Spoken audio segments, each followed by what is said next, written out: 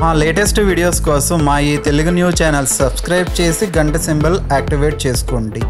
ఎల్లుండే చైత్ర పౌర్ణమి. ఈ చైత్ర పౌర్ణమి రోజు ఉప్పుతో ఇలా చేస్తే ఇరవై నాలుగు గంటల్లో మీ అప్పులన్నీ కూడా తీరిపోతాయి. వద్దన్నా డబ్బు వచ్చి పడుతుంది. చైత్ర పౌర్ణమి రోజు ఉప్పుతో ఈ చిన్న పని చేయటం వల్ల లక్ష్మీదేవి సిరుల వర్షాన్ని కురిపిస్తుంది. మన అందరికీ తెలుసు ఉప్పు లక్ష్మీదేవి ప్రతిరూపము. ఉప్పుతో ఏ పరిహారం చేసినా చక్కని ఫలితం వస్తుంది. దిష్టి తీయడానికి ఉప్పును ఉపయోగిస్తారు. అలాగే ఆర్థిక సమస్యల నుండి బయటపడడానికి చాలామంది ఇంటిలో ఉప్పు దీపం వెలిగిస్తారు. ఉప్పు ఇంటిలోని నెగిటివ్ ఎనర్జీని బయటకు పంపిస్తుంది. ఉప్పుతో చాలా రకాల పరిహారాలు చేయవచ్చు. అయితే చైత్ర పౌర్ణమి రోజు ఉప్పుతో అతి రహస్యంగా ఒక చిన్న పనిని చేయాలి. ఈ పని చేయటం వల్ల మీరు అప్పుల సమస్యల నుండి సులభంగా బయటపడగలుగుతారు.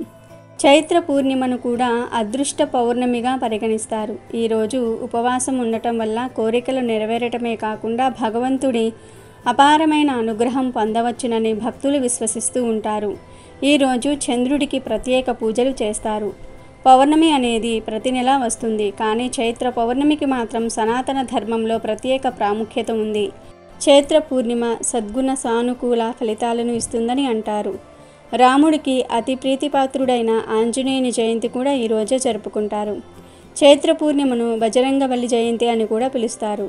ఈ రోజున హనుమంతుణ్ణి ప్రత్యేక పూజలు చేస్తారు. ఇలా చేయటం ద్వారా ఆంజనేయుని అనుగ్రహం కలుగుతుంది. ఆయన అనుగ్రహం పొందటమే కాకుండా సమస్త పీడలు భయాలు తొలగిపోతాయని విశ్వసిస్తూ ఉంటారు. అయితే ఈ పవిత్రమైన రోజున ఉప్పుతో ఏం చేయాలో తెలుసుకునే ముందు రామబంటు అయిన హనుమంతుడు నిజంగా బ్రహ్మచారినా కాదా? హనుమంతుడి వివాహం గురించి పురాణాలలో కొన్ని విషయాలు ఉన్నాయి అవి తెలుసుకుందాము. అంతకన్నా ముందు మా వీడియో నచ్చితే లైక్ చేసి షేర్ చేయండి. అలాగే మా ఛానల్ని కూడా సబ్స్క్రైబ్ చేసుకుని మాకు సపోర్ట్ చేయండి. హనుమంతుడు బాల్యంలో ఉన్నప్పుడు హనుమంతుడి తల్లిగారు విద్యాభ్యాసం నేర్చుకోవడానికి సూర్యుడిని మించిన గురువు లేడు. ఎందుకంటే సూర్య భగవానుడు మనకు వచ్చే చీకటి పోగొడతాడని హనుమంతుడికి చెప్తుంది. అప్పటి నుండి హనుమంతుడు సూర్యదేవుని నుండి అనేక వేదాలు నేర్చుకుంటూ ఉంటాడు.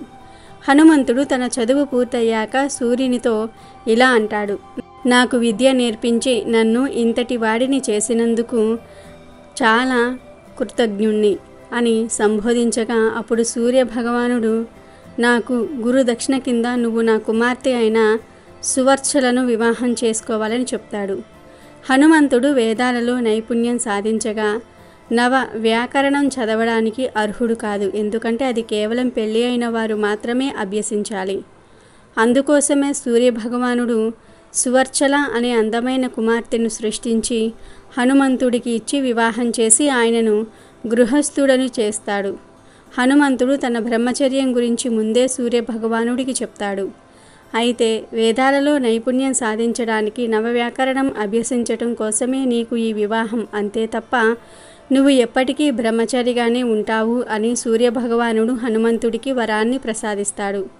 హనుమంతుడు అనేక అవతారాలు ధరించాడు. అందులో సుప్రసిద్ధమైనవి తొమ్మిది. వీటిల్లో సువర్చల హనుమంతుడి అవతారము కూడా ఒకటి. వైశాఖ మాస శుక్లపక్ష దశమి హనుమంతుడి జయంతి. ఆ రోజున ఆంజనేయుని విశేషంగా పూజిస్తారు.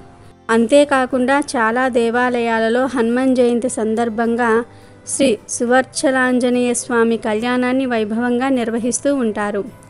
బ్రహ్మదేవుని భవనంలో అందమైన అప్సర అంజనాదేవి ఒక ముని ఆగ్రహానికి గురై ఎవరిని అయితే నువ్వు ప్రేమిస్తావో ఆ మరుక్షణం నువ్వు కోతి రూపంలోకి మారిపోతావని అంజనాదేవిని శపిస్తాడు. అప్పుడు బ్రహ్మ ఆమెకు సహాయపడాలని భావించి భూలోకానికి పంపిస్తాడు. భూలోకానికి వచ్చిన అంజనాదేవి వానరరాజైన కేసరిని కలిసి అతడిని వివాహం చేసుకుంటుంది. అంజన శివుడి యొక్క భక్తురాలు. అయితే శివుడి కోసం గొప్ప తపస్సు చేయగా ఆ పరమశివుడు ఆమెకు కొడుకులా జన్మించి ఆమెను శాపం నుండి విముక్తిని కలిగిస్తాడు. అందుకే హనుమంతుడు శివుడి అవతారంగా కొలుస్తారు. మరొక కథనాల ప్రకారం లంకా దహనం తర్వాత హనుమంతుడు ఉద్రేకాన్ని తగ్గించుకునుటకు మరియు తన శరీరం చల్లబరుచుకోవడానికి సముద్రంలో మునిగాడు. ఆ క్షణంలో అతని చెమట చుక్క ఒక మత్స్యం సేవించటం ద్వారా మకరధ్వజుడు అనే ఒక కుమారుడు జన్మించటం జరిగినది. బ్రహ్మచారి అయినప్పటికీ హనుమంతుడికి సొంత కుమారుడు ఈ మకరధ్వజుడు. వాల్మీకి రామాయణం ప్రకారం రామలక్ష్మణులను రావణుడు పాతాళానికి తీసుకుని వెళ్ళినప్పుడు హనుమంతుడు వారిని కాపాడేందుకు బయలుదేరతాడు. ఇంతలో సగం వానరం సగం చేప ఆకారంలోనున్న మకరమనేవాడు పాతాళ ద్వారం వద్ద హనుమంతుడికి సవాల్ విసిరాడు. హనుమంతుడికి కుమారుడిగా తనను తాను పరిచయం చేసుకుంటానని చెప్తారు. ఈ విధంగా మన పురాణాలలో హనుమంతుడి వివాహం గురించి ఆయన జన్మ రహస్యం గురించి వివరించబడింది.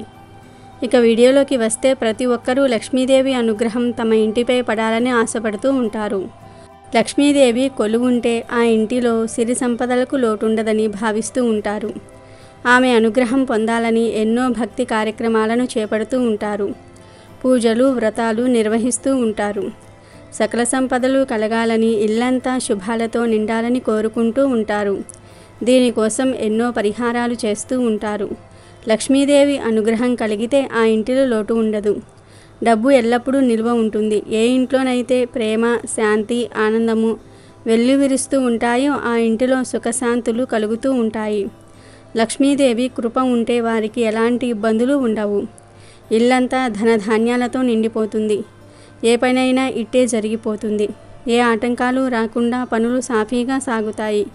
ఎల్లుండే చైత్ర పౌర్ణమి. అతి రహస్యంగా ఉప్పుతో ఇలా చేస్తే మీ అప్పులు ఇరవై నాలుగు గంటల్లో తీరి ఇంట్లోకి వద్దన్నా సరే డబ్బు వస్తుంది.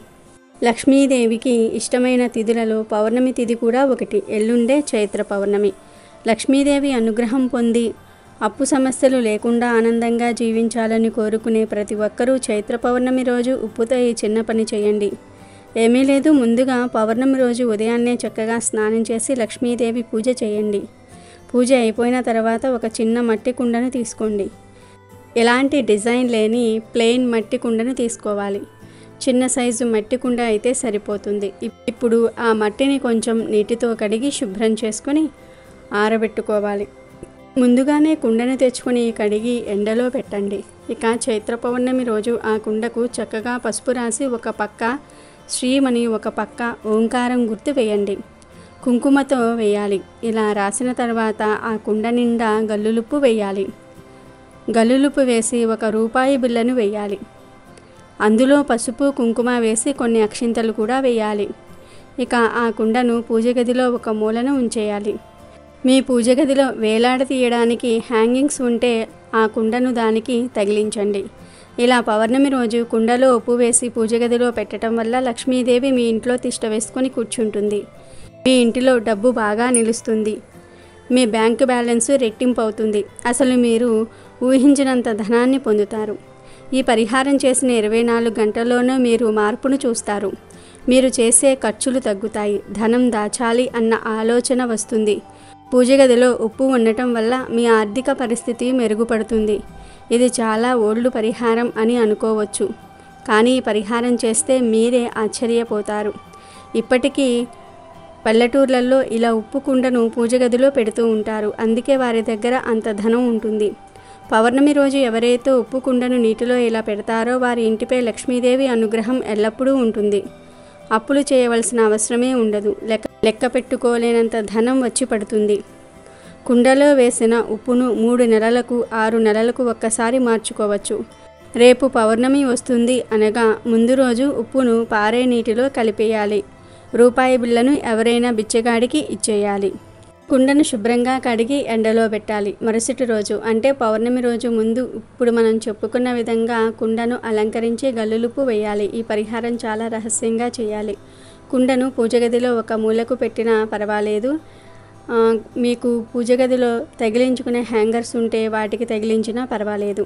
ఇలా ఉప్పుతో చైత్ర పౌర్ణమి రోజు ఈ పరిహారం చేస్తే ఇరవై నాలుగు గంటల్లోనే మీ అప్పులు తీర్చే మార్గం దొరుకుతుంది. వద్దన్నా డబ్బు వస్తుంది. మరి ప్రతి ఒక్కరూ చైత్ర పౌర్ణమి రోజు ఉప్పుతో ఈ పరిహారం చేసి అప్పు సమస్యల నుండి బయటపడి ఆనందంగా జీవించండి. అమెజాన్లో బెస్ట్ డిస్కౌంట్స్ కోసం వీడియో డిస్క్రిప్షన్లో లింకు ఉంది చూడండి. అలాగే మా టెలిగ్రామ్ ఛానల్ సబ్స్క్రైబ్ చేసుకోండి.